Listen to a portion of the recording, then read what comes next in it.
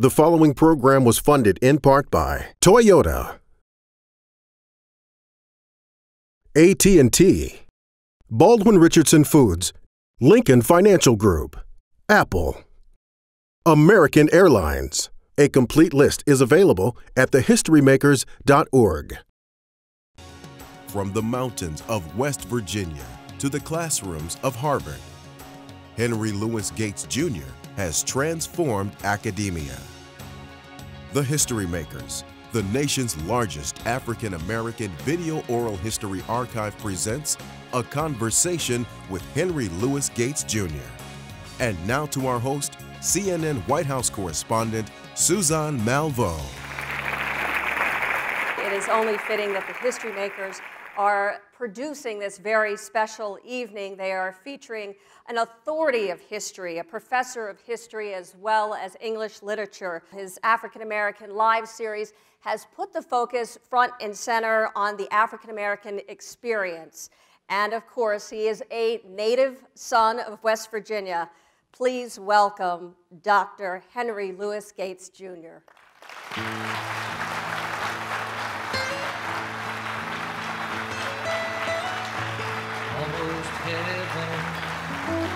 West Virginia, Blue Ridge Mountains, Shenandoah River. Life is old there, older than the trees, younger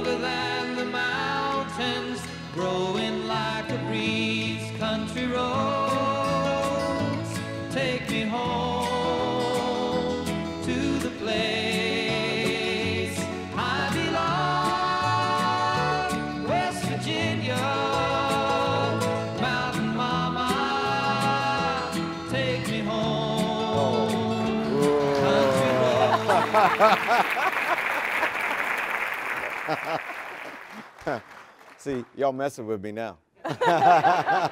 You don't mind if we mess with you a little bit No, here. It can't be all serious, of course. No, this is home. It's this great. is my favorite professor. So thank you for, for allowing me to be here with you and to have this conversation. And we are in your home state of West Virginia. You grew up in Piedmont. Give us a sense of what it was like, the community here and coming home.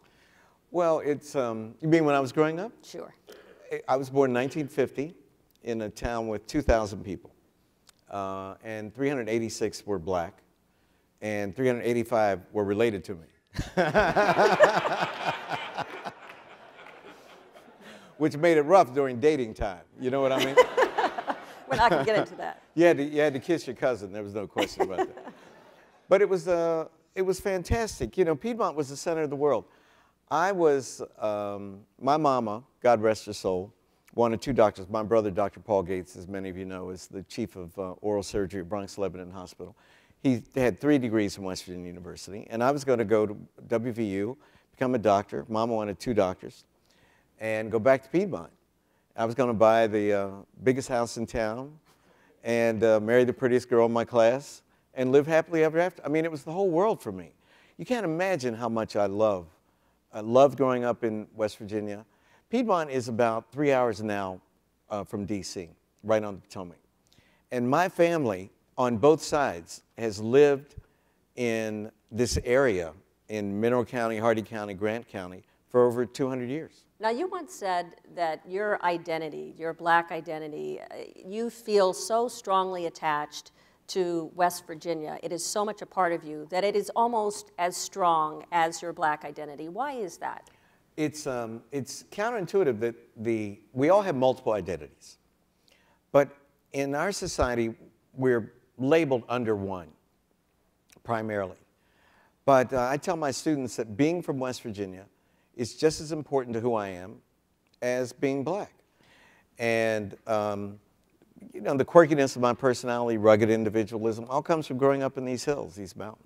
Now, I know you, I, and I've known you as Skip Gates, Mm-hmm. not as Henry Louis Gates. Where does the Skip come from? Where where does that nickname? I've never known where that came from. Well, my mom loved um, nicknames. And um, when I was, when she was carrying me, she decided I would be Skip. She called me Skippy. Did you skip class? What happened? No, no, no. I, uh, and Rocket, my brother, Paul Edward. See, in my family, you were named, the first son is named for the grandfathers. So my mother's father was Paul, and my daddy's father was Edward. And then I was meant to be called Junior. But my name wasn't Henry Louis Gates till I was 25. My name is Louis Smith Gates, and I changed my name when I was 25 when I was a graduate student. And the reason my, they didn't do what they wanted to do is that my mother, in a moment of weakness, uh, told her best friend, Olivia Smith, who was single, had no children, that the next child would be named after her. And they thought it was going to be a girl, and I was going to be Olivia. And it was a boy. They hated the name Oliver. so they named me Louis Smith Gates and hoped and prayed that when I was old enough, I would change my name. And when I was 25, I did. You were almost Olivia. Yeah, I was We- we almost did- We didn't know that story. Okay. That would have been rough. Tell us about the book, Colored People. You dedicated it to your, to your family, to your parents. Yeah. My daughters were seven and five when mama died. And my mother was just the most beautiful, poised, intelligent um, person in the whole world. And um, one day we were in the car. I was married for 25 years to a woman from West Virginia. And we were in the car, and the kids were in the back seat. And I said something about how beautiful my mother was. And Maggie, my older daughter, said, Well, I don't, she wasn't beautiful when I saw her. You know, she was very old. I mean, it was a really smart thing. You know, when kids are pushing your button? Sure. And um, yeah, and I uh, decided I wanted to write a book so they would remember her. Not when she was sick at the end, but when she was, you know, noble and questing and beautiful. So I wrote Colored People, the first draft, in the form of letters to Maggie and Liza. I went to the Rockefeller Foundation Conference Center in Italy near Milan. It's Bellagio, Lago di Como. And I wrote Colored People in six weeks. Every day I wrote them a letter Dear Maggie and Liza, today I'm going to tell you about Uncle Jim and how he would go fishing. And it was dated July 10th, 1992. And the next chapter was July 11th. And I wrote 25 or 30 pages every day. And in four weeks, I'd written the whole book. I, the, I'd written um, 99% of that uh, whole book, and then I kind of polished it the last two weeks. It was amazing, like being in the zone. And, um, And it just kind of poured out of you. it just poured out of me. what do your daughters think about the book? Um, well, you know, you, they're very opinionated, but they, they tell me they've read it. You know, you never know. I haven't, uh, I haven't given them an exam, but I think that they have. I think that they like it. Now, you've studied so much history in the African American community. What have you learned about your own family in your quest? Well, I really didn't know that much about my older ancestors until I did African American Lives. And um, the genealogist started to do me just for fun. Because remember, in African American Lives, we had Oprah and Quincy Jones and uh, Chris Tucker and Mae Jemison in African American Lives 1 and, and a few other people. And um, so they said, well, let's see what they could find out about me. And it was extraordinary. They were able to restore my family tree back in West Virginia, back to three sets of my fourth great grandparents. And John Redmond, um, who mustered in to the Continental Army on Christmas Day, 1778, and mustered out in 1784, served in the Continental Army, was a patriot. And because of that, my brother and I were inducted into the Sons of the American Revolution Really? and we had no idea. They lived, uh, he, he, um, they, he was a free Negro, mulatto, and married to a free Negro, Sarah Days, born about 1750, and they lived in, in Moorfield. In fact, um, they owned property there. We're all descended from slaves. The only question is when your ancestors became free, if you're of, if you're of African American descent. And I'm from seven sets of free Negroes who were free by 1823 in West Virginia. Really? And the reason is, uh, in the Eastern Panhandle, there was no use for slaves. It wasn't like Carolina or Virginia with big plantations. And in uh, Virginia, remember, West Virginia was Virginia until 1863.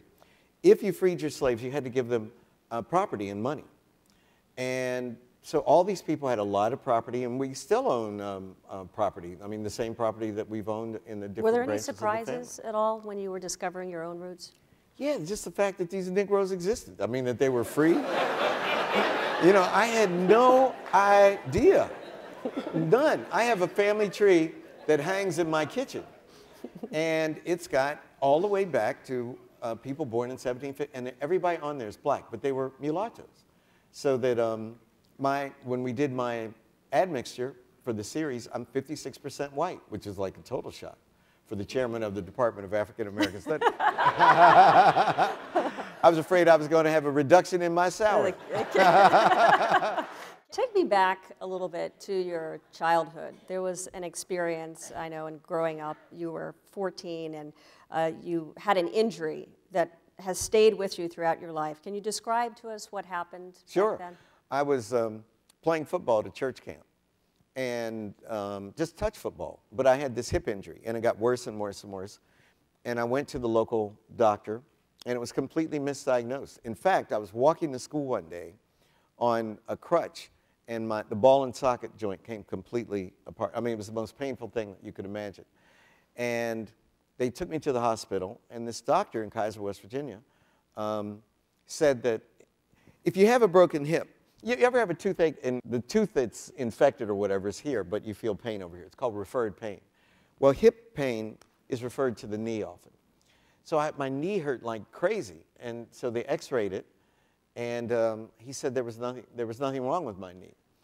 And so he said it was totally psychosomatic. Now my leg was completely flopped out like that. So he just thought you were making it up. He thought I was making it up, and he told my mother that I was uh, an overachiever, which meant that, you know, I'd been working too hard, and little colored boys weren't supposed to get straight A's like I'd gotten. My mother just knew it was rubbish and um, said that we're going to take him to WVU, West Virginia University Medical Center. And the orthopedic surgeon looked at it and said, "Your hip's broken." And said the guy should have seen that 30 days ago.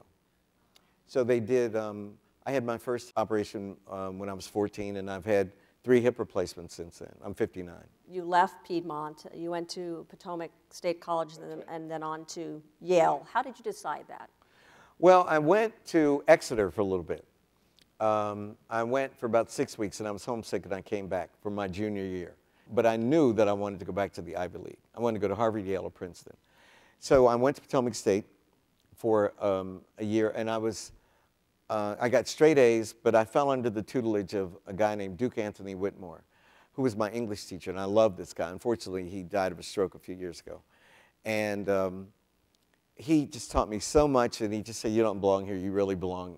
And so I applied to Yale. I looked at Harvard, Yale, and Princeton, and I applied to Yale, and I got in, and I transferred, and the rest, as they say, is history. So it was 1969. It was a very dramatic time during this country. I want to play a quick clip of uh, that time back at Yale. Okay. The late 1960s were a time of tremendous change in the United States, and college campuses served as a stage for the civil rights and anti-war movements. It was in this environment that young Skip Gates left West Virginia to begin his Ivy League education at Yale in 1969. That same year, Yale welcomed its first female student. During this time, Armstead Robinson and other students pushed for the creation of a Black Studies program at Yale, and soon John Blassingame and Roy Bryce Laporte made up the core of the newly formed Black Studies program. In 1973, Gates traveled to Africa where he spent a year volunteering at a mission hospital in Tanzania. He traveled throughout the African continent and he returned to the States to graduate from Yale summa cum laude with his BA in history. But this would just be the beginning for Henry Louis Skip Gates. Wow. That's, pretty very cool. Now, obviously, it was a time of tremendous change. It was, I think you graduated, you were one of 108 or so African Americans from that graduating class at Yale, but just a couple of years before that, it, it really, it was just about 20 or so. And you had the, uh, the addition of women who were on the campus. Give us a sense of your personal growth. How did you grow during that time, that tumultuous time? And, and how do you think that fit in with how the country was growing? Well, the class of 66 at Yale had six black men to graduate. The class that entered with me in uh, September 69, and I transferred, I was a sophomore, but we all hit the, the ground at the same time, had 96 black people. So, and that was affirmative action.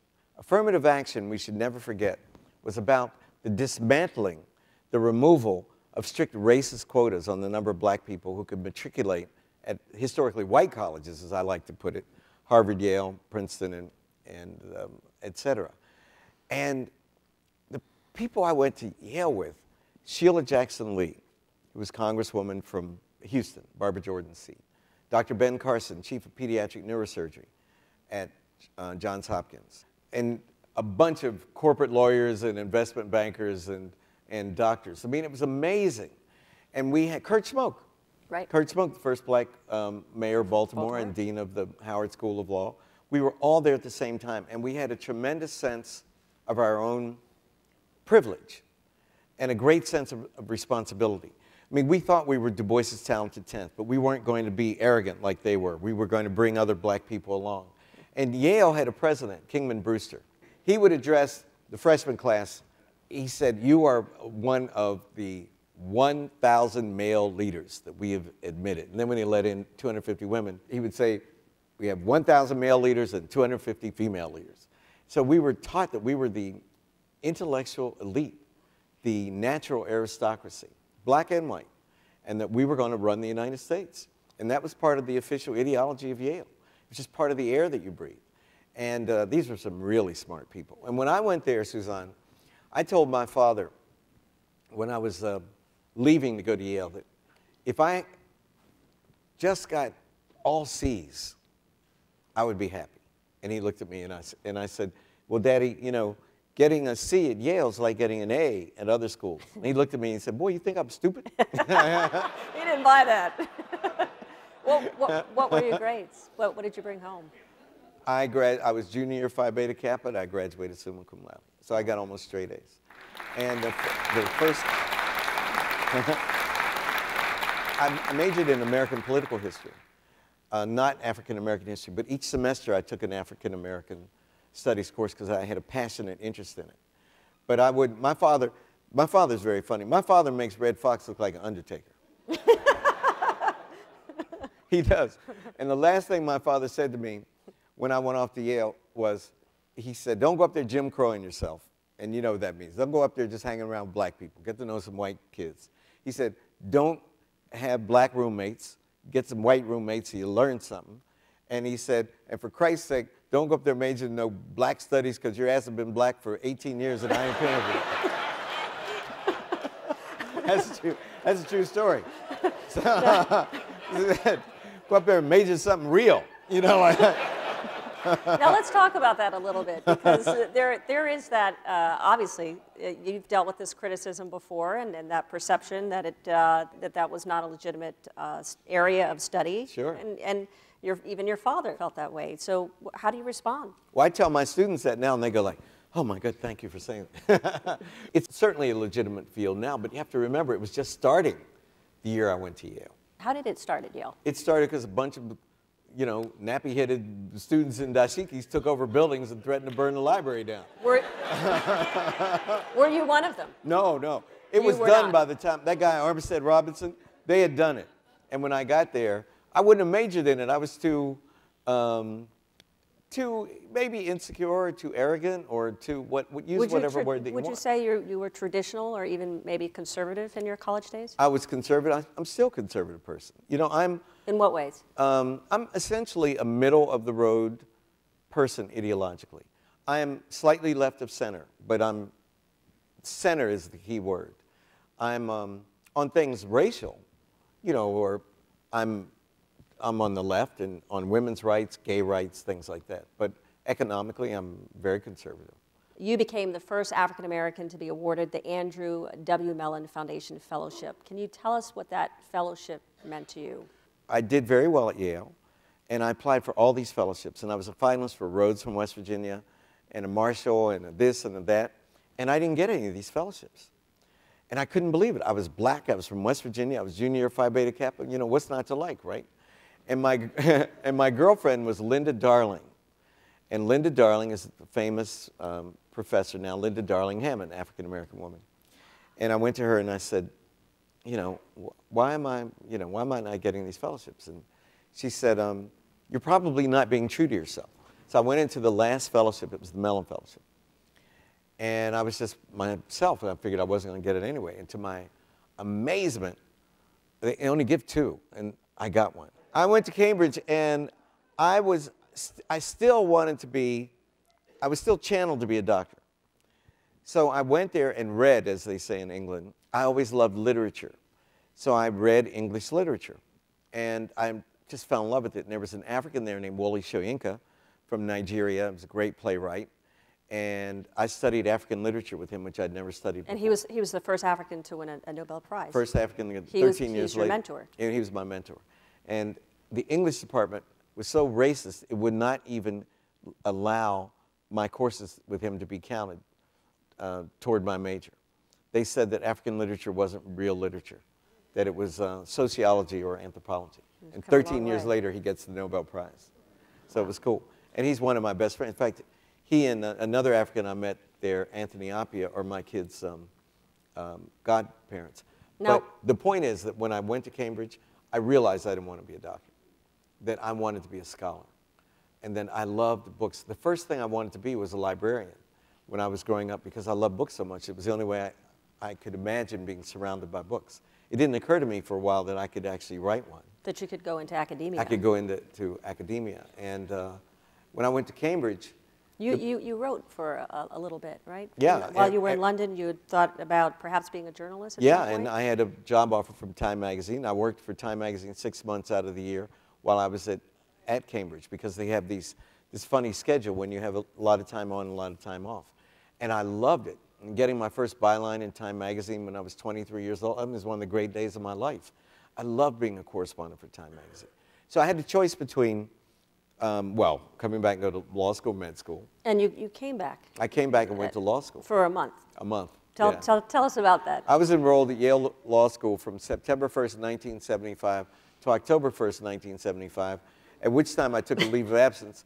And the last time I checked, I was still on leave. if it doesn't What work out, I could go back. What, what, tell us what happened with this, I like this law month. school. It's just, I, I, I was frustrated writing my dissertation, frustrated with Cambridge because it was so conservative, and um, I also wanted to be rich. So I, went, I applied to Harvard and Yale Law School, and all my friends were going to law school. I got in both Harvard and Yale, and I'm a Yaley, so I went back to Yale Law School. And it was just obvious that I was chumping out on myself, that um, I was afraid that I was going to fail getting a PhD. And I didn't want to die. I mean, I had this conversation with myself. I didn't want to die um, not having confronted this demon, this fear I had, um, because I really wanted to get a PhD and be a professor of, of African American literature, professor of English, but I wanted to concentrate in African and African American literature. And I decided I could always go back to law school, and I was going to write that dissertation. If I succeeded, I would be the first African American to get a PhD in English literature from Cambridge. And I just didn't think they would give it to me. And I wrote it, and I got it. And that's the way it was, you know. I tell my students that any fear that they have, fear of failure, I've had it already. And that it's structural, that we all have this fear and anxiety. And many minority people, many women and many minority people think that it's uh, this sense of insecurity, this fear, is a reflection of their own inadequacy, their own inferiority complex. And they often have severe trauma because of it. And I tell them, no, everyone has it. Everyone has it. You just, you, uh, you have it and you confront it and you keep going, um, or you don't. But everyone has it. Those who succeed have it and they've just conquered it. It's not about you. It's not about black people. It's just endemic to the situation. When you, when you tell that to your students, how do they respond? Do they usually break down and cry because they are terrified. Everyone's terrified. You feel that you are inadequate, that you can't make it, that you couldn't do it, you know, that you don't have the stuff, and you're too afraid or ashamed to admit it. So I name it for them. It's like reaching in and just grabbing them, particularly my black kids, because I could see them suffering, and I could see that they're about to capitulate to these fears. So I, na- I try to name it before I lose them, and that's very important. I try to make jokes about it and, you know, How- how- socialize. it. How did you, how did you discover that about yourself? How did you come to realize that as well? I had great mentors. Uh, I had a, a man who happened to be Jewish, John Morton Blum. He's still alive, great historian. And I would go talk to him, and he would tell me, you know, you can do it. You have the stuff. And um, my father used to talk about Leo Durocher, who was the manager of the, of the um, New York Giants, and Willie Mays. And that he would say, Willie, we need a home run. And he'd say, Can I do it, Mr. Durocher? He said, You can do it. Willie, get up there, hit a home run. And John Blum was my Leo Durocher. You know, he would say, you know, you have the stuff. And I'd say, really, Mr. Blum? I spent this year in Africa between my sophomore and junior year. And when I came back, all my friends were seniors. And they were all, um, many of them were running the Yale Daily News newspaper. So they had me write a guest column. And one day I was taking this course and had 202 kids. I never forget this. And uh, I just published um, this essay in the Yale Daily News. And uh, John Blum, he was like God to me, said, Is Mr. Gates in the room? And I thought I'd done something wrong. And I stood up and he said, Excellent article in today's paper. Man, it was like getting the Pulitzer Prize, you know? Uh, so I had that kind of positive reinforcement. And Yale was the best place in the world for me to be an undergraduate because I was a wide eyed kid. I just wanted to drink in knowledge, and they reinforced me. When I wanted to go to Africa, they gave me money to go to Africa. You know, they just, they loved me, and I loved it. And I will never, ne I mean, I, my career has been fantastically successful at Harvard, but my heart will always be at Yale University. Tell me about 1981. You received the MacArthur Genius Grant, and during your research, you made a tremendous discovery. Can you talk about that a little bit? Sure. I, um, I had not even heard of MacArthur. It was the first class of MacArthur's. And I, I was sick one day. It was in May of 81. I had been married for two years. We had this little baby, um, had no money. You know, I was making, I think, $12,000 a year. And the, the phone rang. I was home with the flu. My wife was out, and the baby was there. And the phone rang, and it was this man. He said his name was Roderick MacArthur, and he was telling me about this fellowship. And I started making this the list of people I wanted to nominate. And he said, We just came from the selection committee, and um, I'm calling to tell you that you're in the first group of MacArthur's, tax-free money, $165,000. That was like a million dollars to me, but I went crazy. You know, like I jumped up and down, and, and then I, and I ran over to see John Blassingame, whose picture you just saw. And he said, yeah, he had known about it because he'd been contacted by them, and he had written a letter on my behalf, but they were all sworn to secrecy. Then I felt like I had to do something. I had to pull a rabbit out of the hat. Uh, and I didn't know what it was going to be because a lot of people knew that they had been nominated, which was against the rules.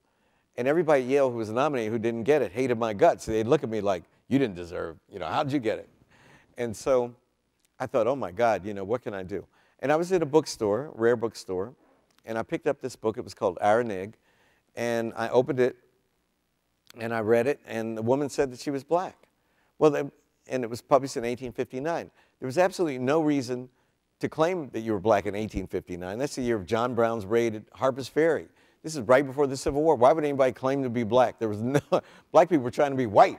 Right. You know, like, so I figured that if she said she was black, she probably was black. So I, I took off from this project that I was doing and decided to research it, and we found her in the census, and she was black. And then we found out, we found her marriage certificate, and she says that she's writing this book because her son is in a foster home, and we found the, the son, the foster home, so the whole thing. you discovered the first uh, black American, African American who had written a novel. a novel And, and published it in the United. States in the first That, and that had never been known before. No, nobody knew.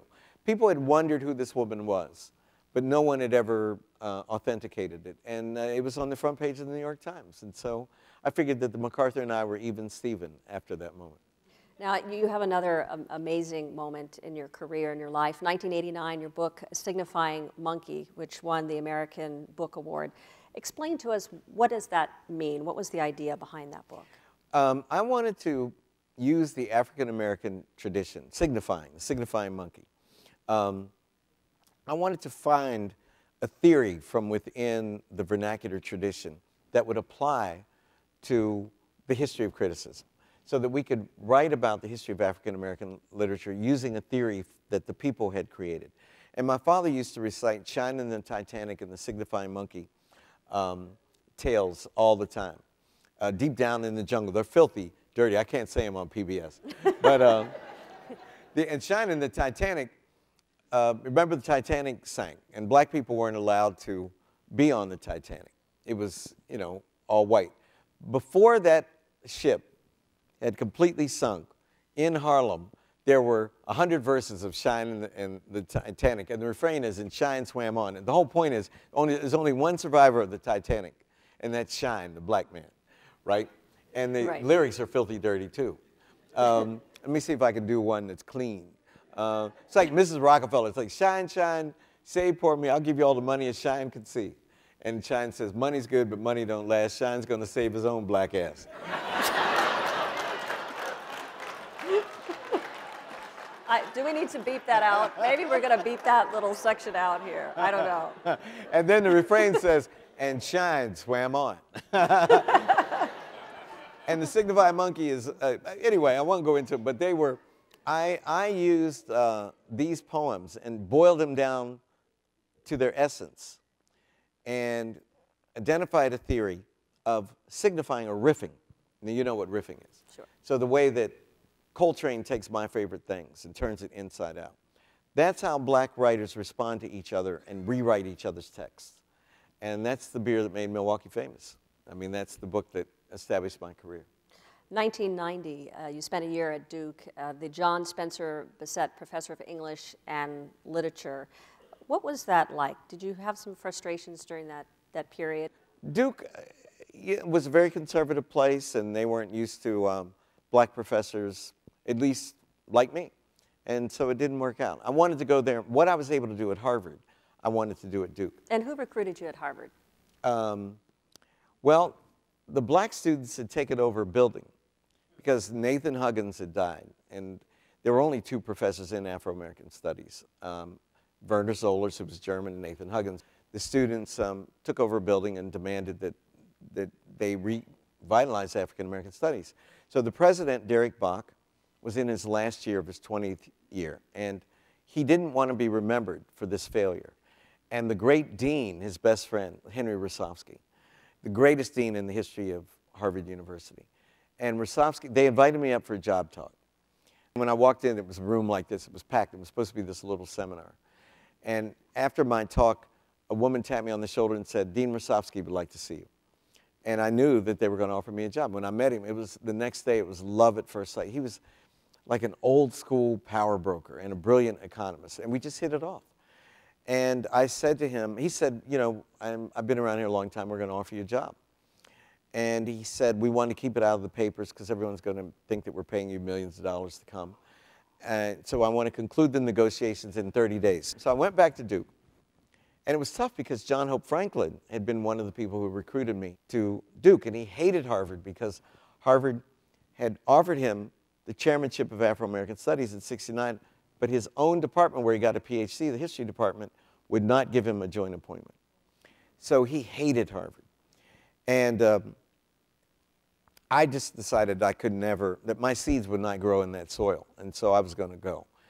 And so on the 30th day, I called Henry Rosovsky and I said, I'll come if you do one more thing. And he swore and he said, We've done, we've given you the earth and the moon. What more could you ask for? And I said, I want you to be my mentor. I want you to teach me to be successful. And I said that because everyone before me had been a failure in that job. And I knew it wasn't a matter of individual talent, it was structural. There had to be some structural problem with African Americans at Harvard. And there was a long pause on the phone, and he said, That's the smartest thing you ever could have asked for. And when I had my first meeting with him, every two weeks, from February 1st, um, 1991 till June 30th, they flew me up, and I would see, sit at the feet of the master, and he would just give me tutorials on how to be successful at Harvard. And we all need mentors in our jobs. Sure. And they don't have to look like you, you know, to be a great mentor. He would set up meetings with me, Suzanne, between me and, say, some professor.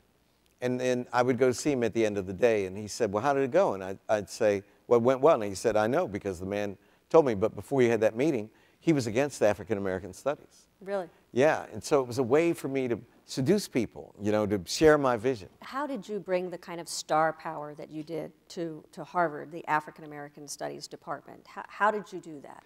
I believe in African American studies. And if you believe in something, you can persuade people to join, be part of your vision. But you have to believe it. People know if you're lying.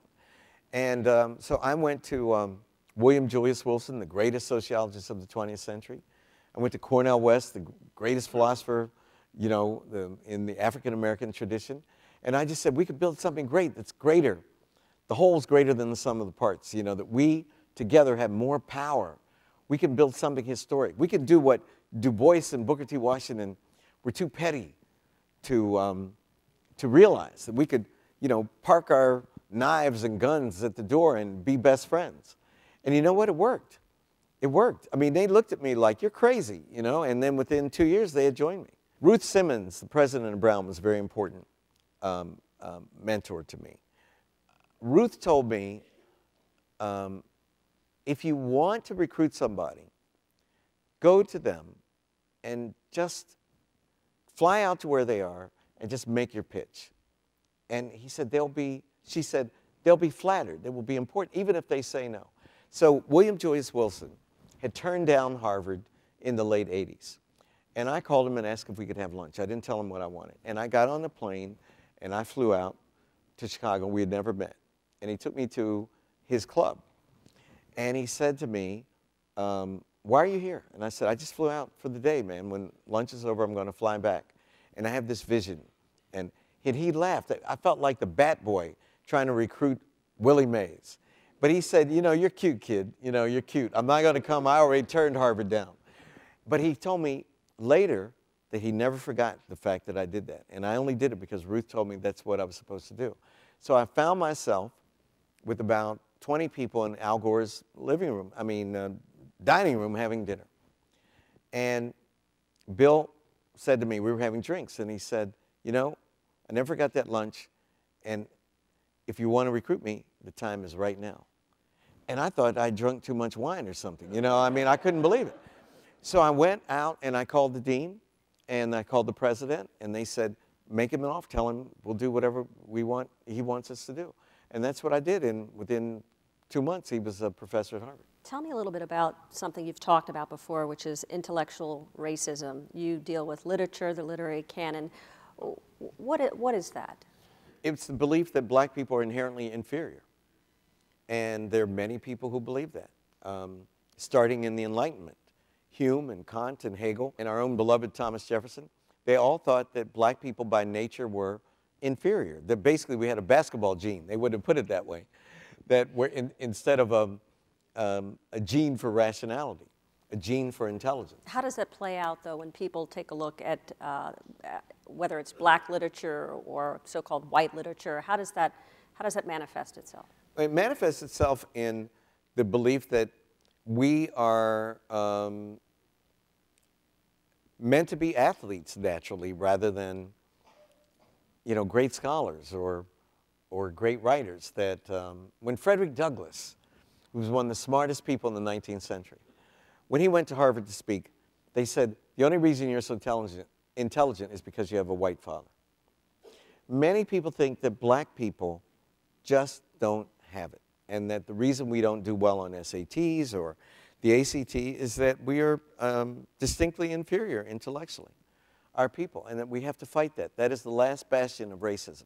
The last bastion of racism will be intellectual racism.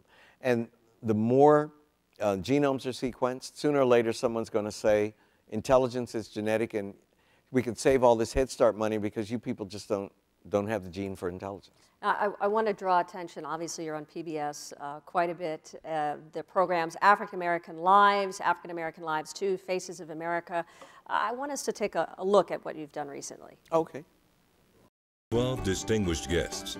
Henry Louis Gates Jr. explores the family stories that make up the history of America.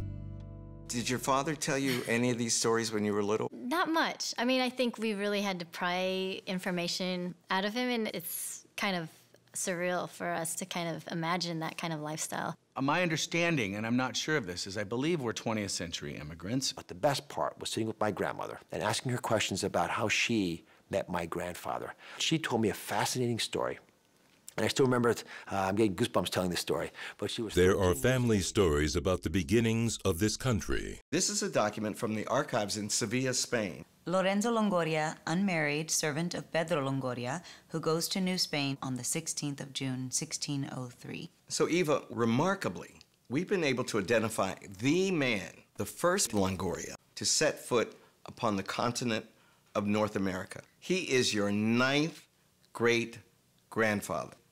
DNA science takes the search for ancestors one step further. This is the ultimate form of genealogical analysis. You and Yo-Yo Ma share an actual ancestor. He's Mexican? Guess who that person is? Tell me. Meryl Streep. Get out! That's not true. Totally true. Have you told her this yet?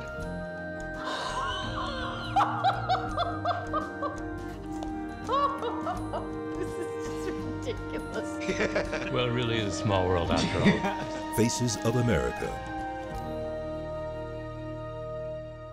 So these have been very popular programs. A lot of people have been watching and following as you've developed these. So what was the inspiration behind this? The day my grandfather died, Edward Gates, it was June of 1960, and my father um, took my brother and me back to the Gates house on Green Street in Cumberland, Maryland. Cumberland, Maryland is right on the Maryland West Virginia border, just like Piedmont, West Virginia is. It's all right there along the Potomac. And um, he took us upstairs to my grandparents' bedroom. Which I, I didn't even know they had a bedroom. You know, in those days, you didn't go upstairs. It was very formal, right? You never, you know, go to your grandparents' bedroom. And my brother and I was like going to Mars. And he took us out on this little sun porch and opened this cabinet, and there were all these bank ledgers. And it turned out that my grandfather was a janitor at the bank, um, would take these bank ledgers home, and they were his scrapbooks. And he had all these scrapbooks. Um, and one of them still exists, that my cousin owns it. And my father kept turning the pages, and finally he stopped, and Rocky and I were looking. We didn't know what he was looking for. And it was the obituary of the oldest Gates who was a slave, Jane Gates. I said I was descended from seven sets of free Negroes. The Gates side, Jane Gates was a slave till 1865. And a white man, an Irishman, fathered all of her children. Um, 1865, she's a slave. 1870, she pays cash for a house in an all-white neighborhood, which our family still owns. $1,200 in cash. She didn't get that by saving her pennies as, as a slave. But it was her obituary, January 6, 1888. Jane Gates, an estimable colored woman. I'll never forget the headline in, in the white newspaper, the Cumberland Evening Times. And I'll, I'll never forget that headline because that night I came home, and the last thing I did before I went to bed was look at my red Webster's Dictionary to see what the word estimable meant. And I knew that she had to be special. And my dad then showed us a picture of her. And he said, This is the oldest Gates. And she's in a midwifery. She was a nurse, she was a midwife. And that picture hangs in my kitchen right next to my family tree. And the next day, I was nine years old, I got a composition book and I interviewed my mother and father about their, um, their family tree.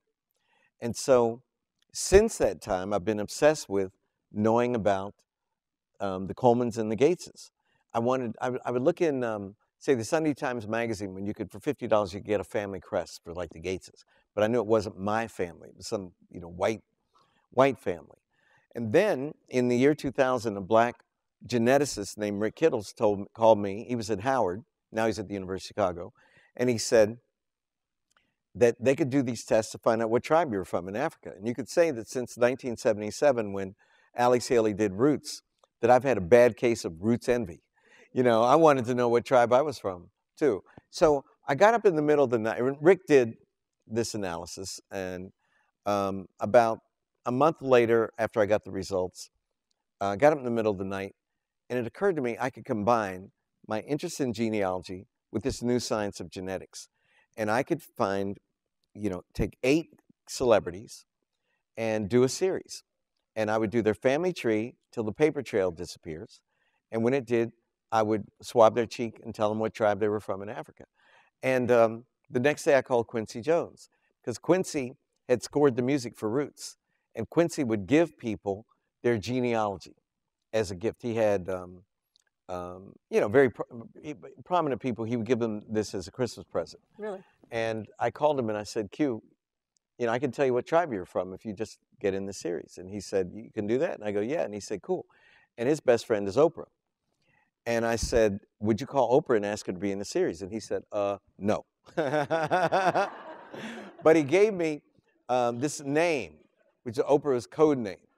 And he said, Write to her and write to her at this address. And I did, and I didn't hear anything. And about a week later, my cell phone rang and it said, Quincy Jones is calling. And I said, Hello. And the deep woman's voice said, Dr. Gates, this is Oprah Winfrey. I will be in your series. And I went, fantastic, because you had to raise all this money, you know, to um, do one of these series. And I figured I could walk into these sponsors and say, how would you like your product associated with me revealing to the world the tribe that Oprah Winfrey's from? It was like this roof opened up in a big ATM and she'd be coming down. And it was great. It, it captured the imagination of, um, you know, it, it got a huge audience. T.D. Jakes, who's a black man from West Virginia. I wanted my homeboy T.D. And I wanted light complected black people, dark complected black people. And Suzanne, you'll be interested in this. The biggest surprise was that we found out that 33% of all black men, of all the black men in this room, if I did the DNA of each of the black men in this room, 33% of you descend from a white man. 33%. And 58% of all black people are at least 12.5% European. Now, how many black people in this room descend from Native American ancestors? Just raise your hand. Don't be shy. Raise your hand. It's like all the black people, right?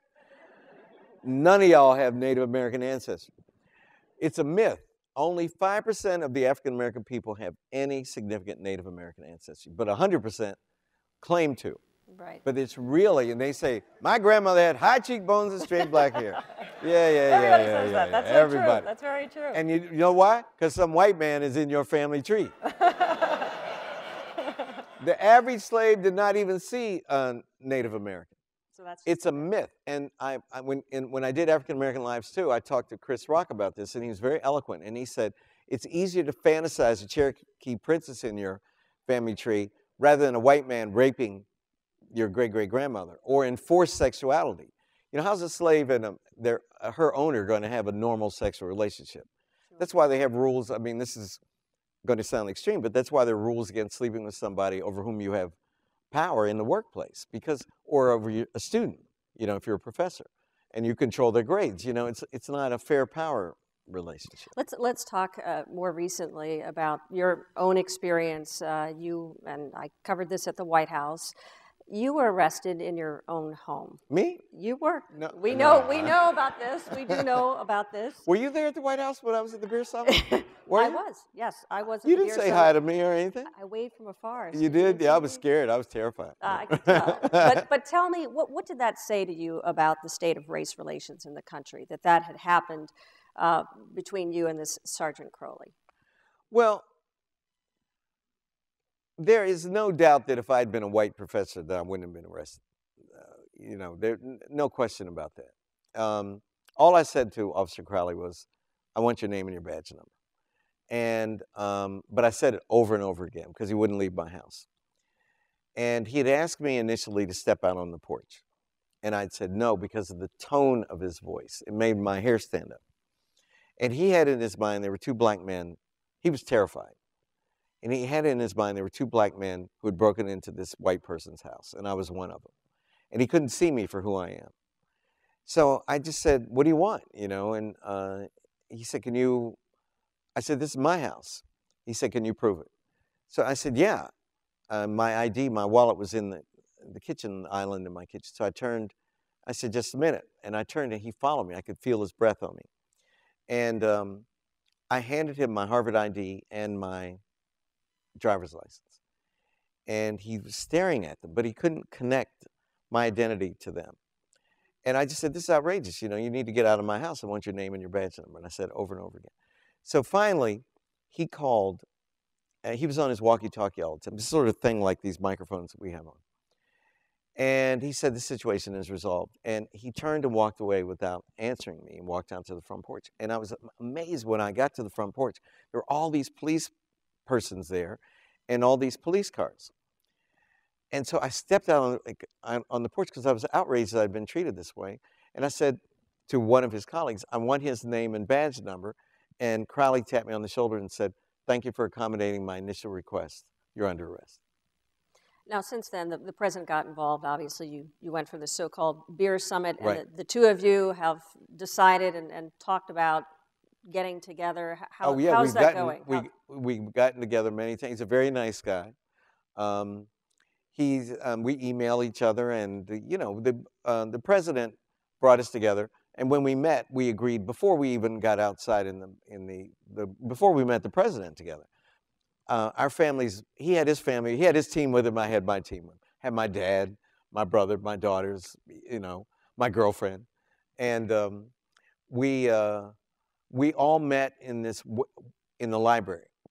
And I walked up to them and I shook his hand and I made a joke about getting his kids into Harvard if their father didn't arrest me anymore. You know, I mean, I was. How did that go over? It was great. Everybody laughed and they were relieved, actually. And I said to him, Jim, we've been cast in a racial melodrama. It's two characters, and it's a drama over which we have no control. And the only way it's going to go away is if we just, you have your account of events, I have mine, and let's just move on and become symbols of racial harmony. And he said, That's fantastic. And we shook hands and we've been friends ever since. And one of the symbols is the handcuffs. I understand that you have given, or he's given you the handcuffs that he used, and you have since donated them. Can you... Yeah, that's right. He um, emailed me and said that he wanted to, um, he hoped it wasn't inappropriate. He did this last September and said he wanted to give me the handcuffs that he had used to arrest me. And I was very touched by that. So finally, we met at the River Gods Cafe, my favorite pub right down the street from my barber in the, in the hood. And um, he um, took me out to the car uh, and um, he had them in his trunk and he gave them to me. And had, they have his, his name etched in them. So I kept them for a while and I talked to my family about um, what I should do with them. And I talked to my colleagues in, uh, at Harvard and they said they should be in a museum. I, I, didn't want them, you know, they had bad karma. You know, it was a nightmare for me. I mean, being arrested is not you know, it was, it was no joke, you know, I was in jail. And um, so I decided to give them to the new National uh, African American Museum as part of the Smithsonian. I called Lonnie Bunch, and he was ecstatic. They will be a permanent part of that collection. And I want them to be a symbol of, first of all, the capricious way that African American men can be arrested for disorderly conduct. Because I found out that many of the men with prison records get in the, the um, um, judicial system enter with a criminal record because some policeman says they're being disorderly. And it's completely arbitrary in the same way it was for me. And I'm really, I want that corrected. I want that, that um, you know, somebody to do something about that. You know, I'm, there are huge campaigns that people are fighting about the nature of disorderly conduct. Sure. But second, it became a, an historical event. In fact, I was on my way to interview Eva Longoria. And um, I got a call from the White House, and I had to get a new cell phone number because I the couldn't police. reach you during that time. That's right. The police had published my home, and I got all these calls from these racists. I mean, lunatics saying I should die or be put under the jail, and I got bomb threats and death threats. I mean, it really touched an, a nerve. It wasn't about Crowley and me anymore. It was about Obama. It was about the fact that it was the first black president. It was about race in America. It was about class. Did it change you in any way, that experience? Well, you never know if you've been um, changed. It made me um, I'm more, I was a public figure before then, but I am certainly a much more visible, recognizable person now because of that incident. And people stop me all the time for photographs, for autographs, or, um, they, you know, I wonder why, I mean, I'm forced to wonder why anyone would think it would be an original to walk up to me and say, Was the beer cold? 10 million people have asked me, Was the beer cold? Or was the beer good? You know, and I, and I go, Oh man, it was so cold, you know, like this. You know. It was good, you know, like da da da da da. But they, but they mean well. And I, I mean, I got thousands of letters. I got lots of hate mail, but I got far more letters of support. So it was very moving. But I still don't understand exactly what happened. And I don't think anybody does. You've accomplished so much in your life. What would you like your legacy to be? I'd like to be remembered as a person who celebrated the diversity of America. That I think the true triumph of American democracy is our diversity, which we can measure through genealogy and genetics. I'd like to be remembered as a person who, um, who fought for and restored the contributions of people of African descent to the culture and intellectual tradition of this country and to the world. It's a tradition that I love. I mean, I could write about Shakespeare and Milton, but I want to write about Phillis Wheatley and Harriet Tubman and Frederick Douglass and W.E.B. Du Bois. I want our people to have a place at the grand table of culture and civilization. And I want to be remembered as, if Martin Luther King wanted to be remembered as a, a drum major for justice, I want to be remembered as a drum major for the African American intellectual tradition. That's how I want to be remembered.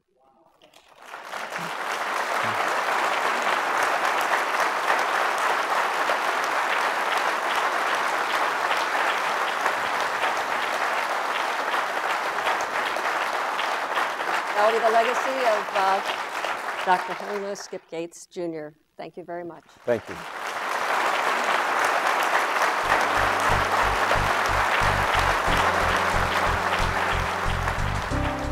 For more information on a conversation with Henry Louis Gates Jr. and other PBS programs, go to pbs.org.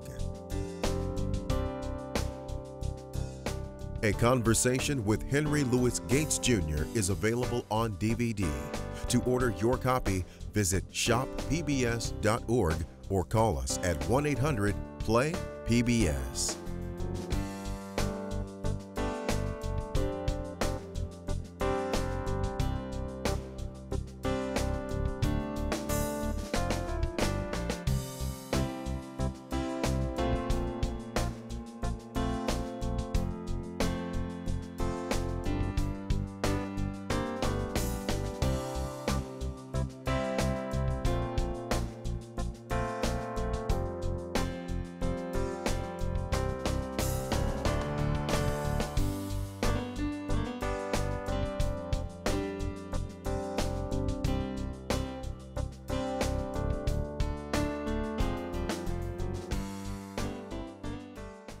For more information or to order your own copy of An Evening with Quincy Jones, please visit thehistorymakers.org or call 866 914 1900. That's 866 914 1900.